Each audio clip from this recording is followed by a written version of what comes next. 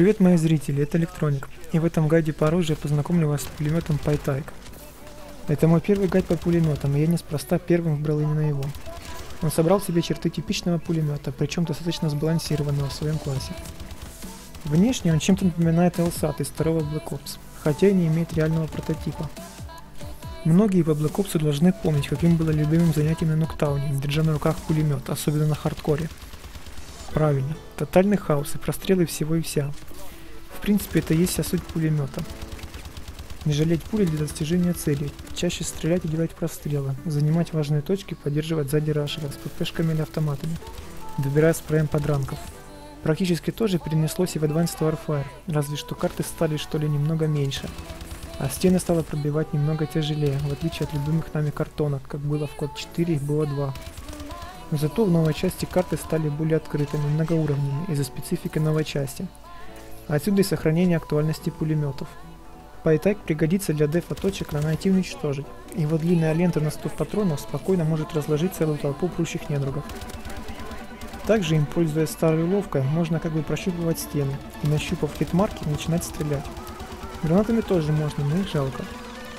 Также и можно неплохо контролировать точки на доминации и хардпоинте, где пуль хватит на все про все. Ну и на комбой пулемет тоже не подведет.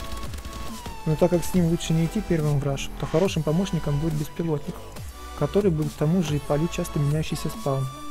Конечно, время от времени можно идти в раш, но тогда вы уже будете без преимущества против противников, так как у Пайтека скорострельность и урон примерно равна большинству автоматов и пистолет-пулеметов. Поиграв с ним примерно равное количество времени как на хардкоре, так и на классике, я не смог определить, где он лучше. И по моему мнению, он будет хорошим везде. Конечно, на классике будут более длинные серии, так как есть возможность исправить ошибку на ходу. А на хардкоре будет выручать длинная лента, которую не жалко на стрельбу зажимом и рандомные прострелы на фарт. На классике я не советую вам стрелять от бедра, так как шанс убить противника будет очень мал. А на харде из-за низкой скорости вскидывания советую ставить рукоятку для быстрого вскидывания. По урону Пайтак где-то в топе. Он способен убивать с трех пуль до 12,5 метров, нанося 40 хп урона. Дальше его урон падает, и после 30 метров он будет сносить уже 24 хп. То есть с 12,5 метров он будет убивать с трех пуль, затем с 4 и после 30 метров с 5. Скорострельность составляет 631 выстрел в минуту. В принципе, скорострельность и урон у него на уровне большинства автоматов. Но хромает скорость при зарядке, аж целых 7 секунд. Хотя по-быстрому можно перезарядиться и за 5,5 секунд. Но лучше не делать это без падальщика, особенно на хардкоре. Пробиваемость препятствий у него высокая, поэтому смелее прощупывайте стены, если у вас работал беспилотник или тем более противник помечен. Мобильность у Пайтека низкая, как и вскидывание и прицеливание, но исправляется перками. Пайтай, как я уже сказал, это сбалансированный пулемет, не без изъянов, конечно. Разве что свойственных всем пулеметам. Но в целом этот пулемет грозное оружие, не дающее себя в обиду, как, например, некоторые дробовики, полностью теряющие урон вдали, или снайперки, бесполезные вблизи. Плюсы примерно равносильны минусам, и моя положительная статистика это подтверждала. Среди плюсов все та же длинная лента и огромный носимый боезапас. Легкая контролируемая отдача, небольшой разброс, отсюда хорошая точность даже в спрее. Пробиваемость препятствия и достаточное количество патронов для прощупывания стен. Также есть три модификации, убивающие как вблизи, так и на средней дистанции всего с трех пуль. Loophole, Exploit и Hasty. Ну а среди минусов уже типичная всемедленная перезарядка, низкая мобильность, но и в данном случае не очень удобный прицел, который больше подойдет для хардкор режима, где попадать надо меньше, так как с непривычки вести длинную очередь по маневрирующему противнику будет трудно. В целом урон и скорострельность у него примерно на среднем уровне, ближе к автоматам.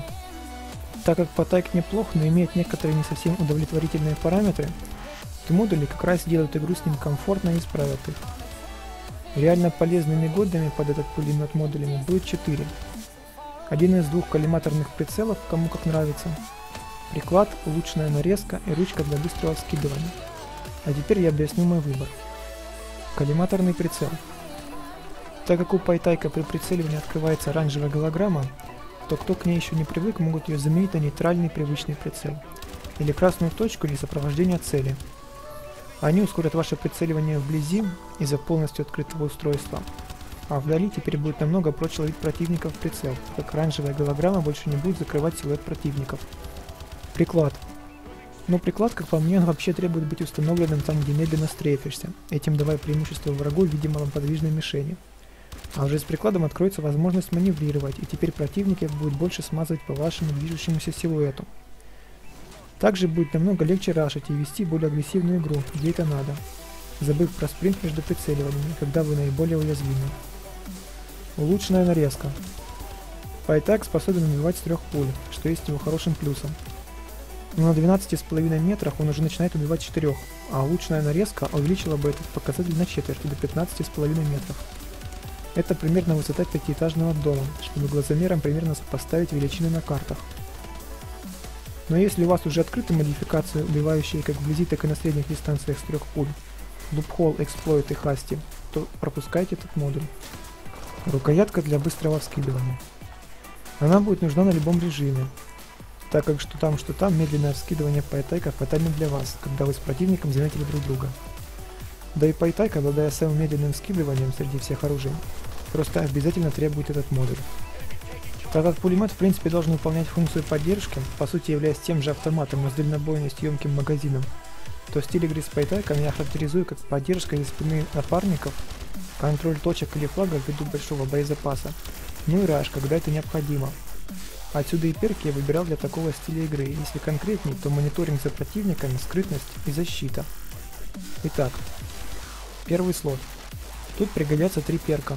Легковес Lightweight, серая мышь Low Profile и саперный жилет Blackjack. Легковес нужен будет тем, кто играет более активно, часто вступая в раш. А так как скорость с пайтайком снижена на 20%, и это очень чувствуется, то выбрав легковес вы будете наравне с остальными по мобильности. Саперный жилет пойдет для агрессивной игры, допустим, на точках на доминации и хардпоинте. Защищает постоянно взрывающихся там гранат, а также ракет, птичек и паладинов, или дронов. Ну а серая мышь как бы универсальный перк, скрывающий вас с миникарты от легко набиваемого беспилотника. Второй слот. Я бы порекомендовал с уверенностью два перка. Невидимка, Blind Eye и Периферия. Первый защитит вас, убрав хитбокс от скорстриков противников, а второй, наоборот, расширит мини-карту и спалит стоящих вдали противников, чтобы на изготове встречать их, зная, с какой стороны они полезут. Третий слот. Тут я посоветую лишь один перк, который точно пригодится пулеметчику. Это заземление, hardwiring. Он не превратит ваш пулемет в груду бесполезного металла, ведь без мини-карты, которая как раз отключается взломом системы, вы теряете мониторинг за противниками, уже не зная, где они и с какой стороны пойдут.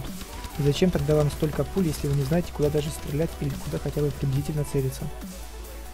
Можно, конечно, ставить падальщика скевенджер, если любите делать прострелы и прощупывать стены. Но в идеале 200 патронов должно хватить на все про все. Тихий взрыв пригодится лишь для найти и спасти, или найти и уничтожить, где все палят мини-карту. На других режимах перк бесполезен. Стойкость Тогнес не сильно нужна, так как с пулеметом чаще стреляйте сидя или лежа, Тогда подскакивание прицела почти не чувствуется.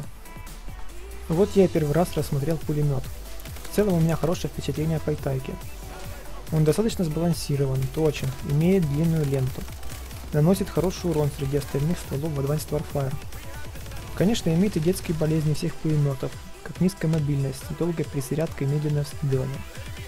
Но это все исправляется модулями. Ставя три модуля, коллиматорный прицел, приклад и ручку для быстрого вскидывания, Пайтайк превратится в нагибаторскую машину убийства, способную бодаться за всеми пушками подряд.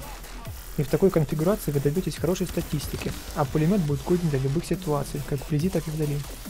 Потому что Пайтайк по сути универсальное оружие, способно бодаться со всеми, и с ППшниками вблизи, и с автоматчиками на средних и дальних дистанциях. С ним можно и прикрывать товарищей, и даже выцеливать снайперов, особенно на хардкоре, где он мощнее всего. Также с ним можно и противостоять ППшникам, в целом у PyTech широкий спектр задач, и правильно подобрав модули и перки, вы можете их всех эффективно использовать. Его ТТХ позволяет подстраиваться под любой стиль игры. На этом заканчиваю гайд. Если вам понравилось, то ставьте лайк, продвигая видео. Также подписывайтесь на канал, чтобы посмотреть остальные гайды и быть в курсе новых. И комментируйте не стесняясь, возможно у вас есть свое мнение про PyType. Пока и до встречи в новом гайде по оружию из Call of Duty.